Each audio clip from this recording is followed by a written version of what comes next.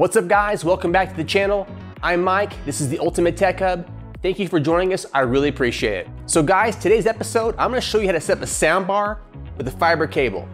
I'll show you how to connect the fiber cable, as well as troubleshoot it to make sure it works. We'll then show you the settings on the TV to get the soundbar working, and then lastly, we're gonna fix that annoying delay because we know a lot of soundbars can have a delay, and we're gonna fix that. And guys, no matter what brand TV you have or soundbar, what I'm gonna show you today will work. So without further ado, let's get started. And guys, don't forget, hit subscribe, it's free. All right, the first thing you wanna do is connect the fiber cable to the back of the TV. This connection is known as the optical connection. So insert either end of the fiber cable into the optical connection.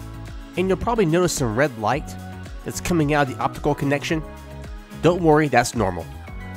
Next, you want to plug the other end of the fiber optic cable into the back of the soundbar. And that connection looks the same as well. And before you plug the optical cable into the soundbar, you should notice some red light coming out the end. If you see a red light, then you're all good.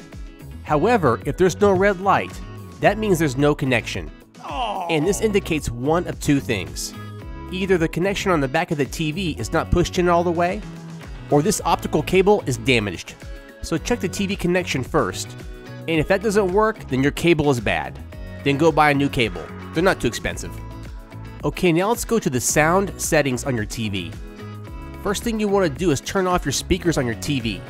This option might be in advanced audio settings, so check there. Now at this point, go ahead and check your TV for sound.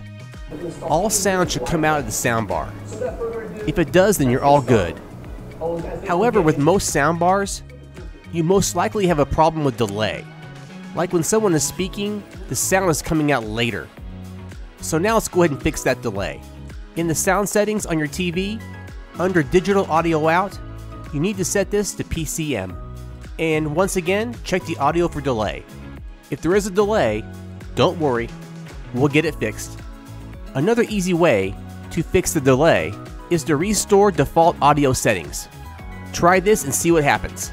Now if this works, but you still notice a small delay, go to the lip sync settings and audio sync settings on your TV, which are in the sound settings menu, and make some adjustments while the audio is playing on your TV.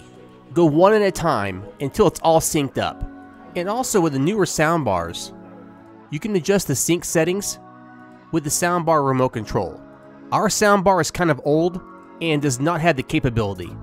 But using our TV sound settings, we got the audio synced up perfectly. So at this point your soundbar should be all synced up and working well.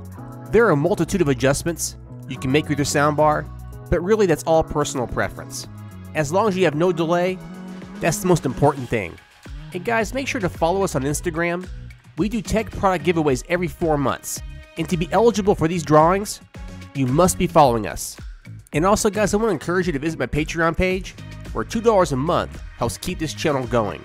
And for every new member, we do a personal shout out on the very next video.